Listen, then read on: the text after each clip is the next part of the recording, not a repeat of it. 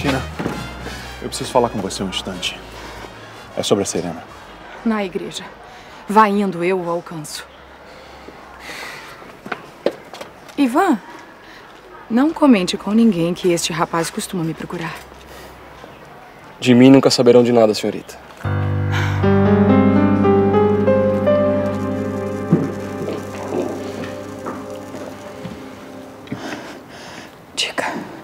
Por que está tão aflito? Aquela moça, a Serena, ela sempre tem uma reação espantosa quando me vê. Passa mal, sente aquela dor no peito, uma coisa esquisita. Cristina, você sabe por que, que ela sempre reage dessa maneira tão forte? Nem posso imaginar. Alguma coisa deve ter feito a ela. Como se com ela sou gentil, sou educado. Eu não consigo entender. Bom, o fato é que eu pretendo desistir do plano. Como assim? Eu não vou conseguir conquistar essa moça. Ela tem horror de mim. Arruma outro.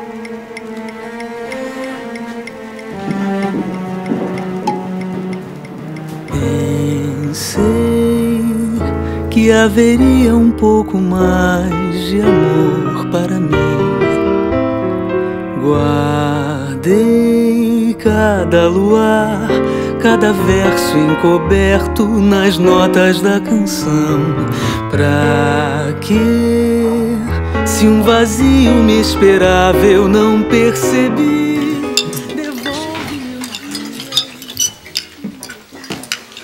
Com licença. Eu não quero interromper o jantar. Gostaria apenas de falar com a Serena. Fique à vontade, seu Rafael. A casa é sua. Ah, senhor. Ô, senhor Rafael, senta aí, faz uma boquinha com a gente, vai. Acham que seu Rafael, que é um homem rico, ia comer essa porcaria de comida daqui? Ah? Um carro? Você vai comprar um automóvel, Abílio? Sim. Estou ganhando muito bem, Clarice. E com as economias que fiz até agora, vamos poder comprar um automóvel para passear, fazer piquenique. Oh, eu adoro piquenique. Eu também.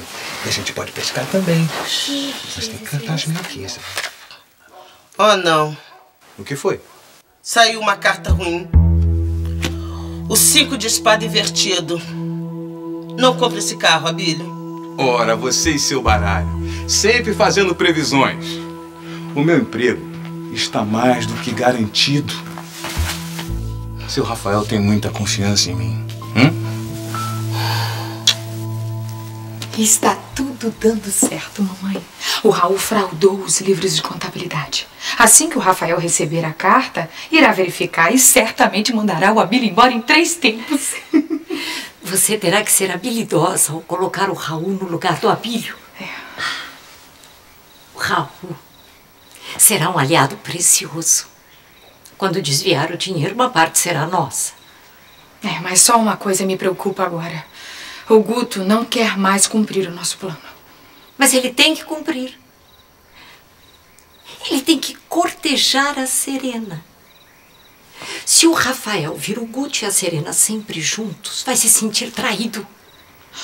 Mãe, me dá arrepio só ao falar, mas cada vez que a Serena vê o Guto, ela sente tanto medo, tantas dores, é como se ela realmente lembrasse de algo. Mas se a Serena é a Luna que voltou e parece ser, é claro que ela se lembra.